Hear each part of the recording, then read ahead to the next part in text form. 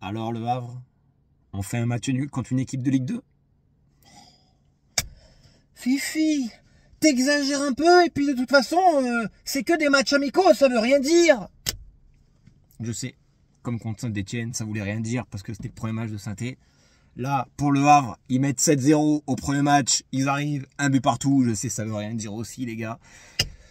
Mais, le résultat final, c'est que je suis content parce qu'on voit des belles choses. On a de la jeunesse, beaucoup de jeunesse. Il manque des joueurs, il manque un attaquant, mais on arrive à se créer des occasions.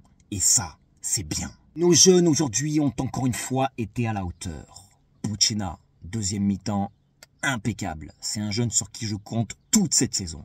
Kabeya, un jeune que je découvre, qui a fait un match très intéressant contre la SSE. Il confirme encore une nouvelle fois aujourd'hui. Il est jeune, il est beau, il est grand, il est fort. Merci.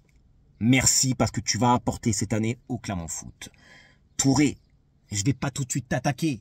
Tu viens d'Australie, tu viens de très loin, tu as 18 ans et tout le monde le sait, tu ne seras pas un titulaire indiscutable. Tu es jeune, tu as besoin de progresser et je compte sur toi cette saison parce qu'il y a quand même quelque chose. Et enfin, Armogon, le buteur, le défenseur gauche. Je pense que ça peut être son année.